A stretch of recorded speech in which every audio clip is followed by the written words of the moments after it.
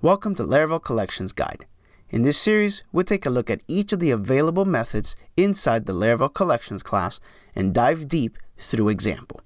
In this episode, we're going to be handling median. And median is simply the middle number in a sequence of numbers. So if we had 10, 20, and 30, obviously 20 is our median. So how do we do that with collections? Let's start with our data array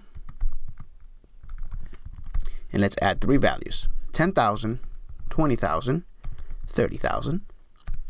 And now let's return collect our data array and we're going to call median on it.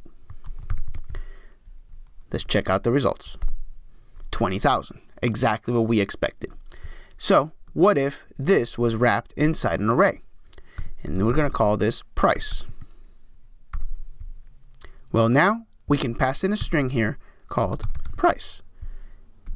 And we expect the exact same results, and we get that. Median is a very simple mathematical concept. Now, to understand the difference between median and average, I'm going to bump this up to 25,000. And I want you to see the results.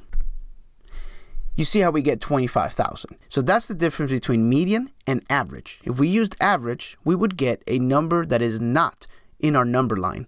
But if you use median, we will get a real number in our number line. And to prove that, I'm going to change this to average. And you'll see that the results will be exactly in the middle. Now this, of course, is not a real number.